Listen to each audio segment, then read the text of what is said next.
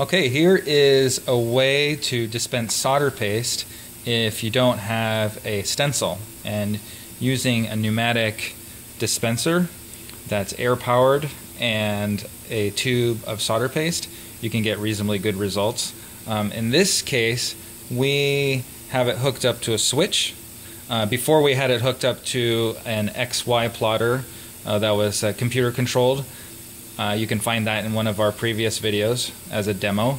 The um, that worked well, but it does take up a lot of room, and for just some ad hoc work, you could just do it by hand and get reasonably good results. So the way it works is you push the button and it will dispense a precise amount of solder paste.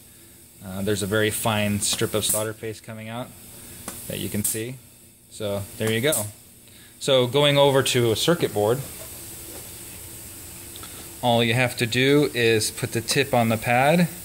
Make sure you put the tip on the pad so it's touching the pad and then that will force the solder paste to stick to the pad and you just go from pad to pad and you can bang out a prototype circuit board fairly quickly.